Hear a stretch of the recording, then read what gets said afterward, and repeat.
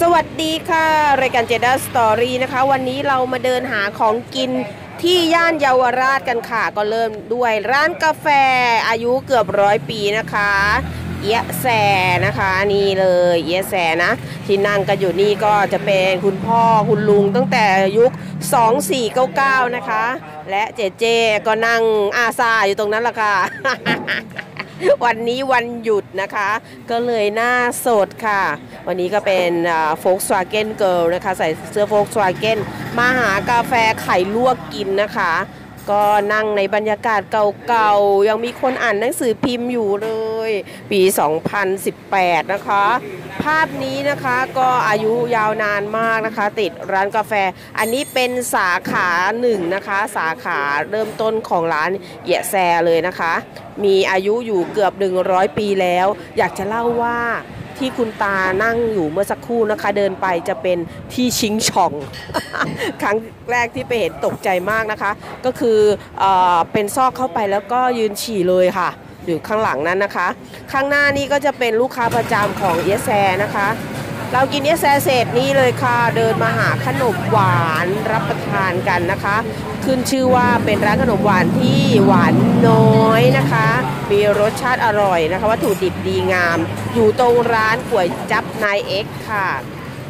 นี่เลยเยอะแยะเลยนะคะไปชมข้าวกัเหนียนวเปียกอะไรนะสาคูลำไย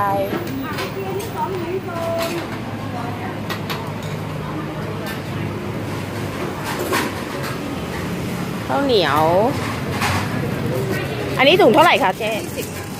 เอาสาคูลำไยข้าวเหนียวถั่วดำอันนี้อะไรคะอันนี้ฟักทองไหมคะฟักทองด้วยหนึ่ง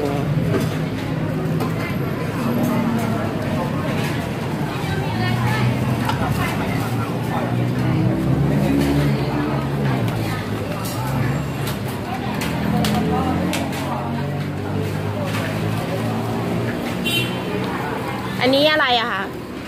เอาส่วนค่ะเอาส่วนกับอะไร ลูกค้าเมื่อกี้จะทานอะไรอะเสร็จแล้วต้องสั่งอันนี้เป็นด้วย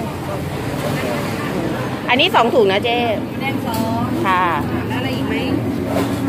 มีถั่วแดงสอง มีฟักทองหนึ่งลำไยหนึ่งถั่วดำถั่วดำข้าวเหนียวหนึ่งร้านข้าวเหนียวไม่มี อ๋อ มีแต่ถั่วดำอย่างเดียวเหรอคะ อ๋อ เอานั้นก็ได้ค่ะ หวานร้านนี้นะคะ อยู่ที่ราคาถ้วยละ 20-30 บาทนะคะ รสชาติอร่อยนะคะ เหมาะกับคนชอบไม่หวานจัดนะคะ แล้วก็มีความเจ้มจนนะคะอู้นี่ดูอส่วนสิโท อันนี้ก็ต้มถั่วแดงนะคะ เจเจนั้นเหมามาทุกสิ่งเลยค่ะ เอามาอย่างละถุงสองถุงนี่นะคะ ดูความ รับประทานนะคะกะทิข้นเลยหนึบหนับนะคะอืมขอสักคำได้หรือเปล่าน่ากินที่สุด โอ้เดี๋ยวเราต้องไปกินข้าวต้มต่อพิเศษใส่ไข่ถ้วยหไงนึ่งข้าวต้มกระดูกหมูนะคะหนึ่งตัวซึ่งอยู่ไม่อีกไกถ้ลวยหนึ่งนะ จากร้านก๋วยจั๊บนะคะ อยู่ย่านเยาวราชเหมือนกัน ร้านนี้อร่อยมากนะคะ ใส่ไข่พิเศษ 60 บาท เดี๋ยวไปดูกันค่ะ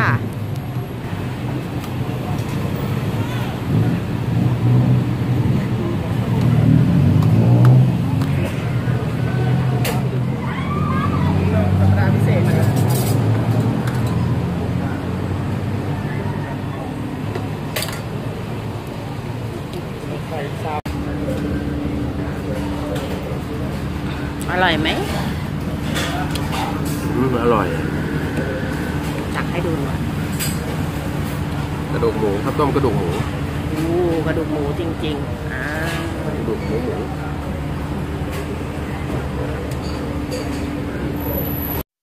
ก็อยากชวนเพื่อนๆนะคะ มาเดินเล่นเยาวราชนะคะ ถือเงินมาร้อยสองร้อยอิ่มแน่นอนค่ะ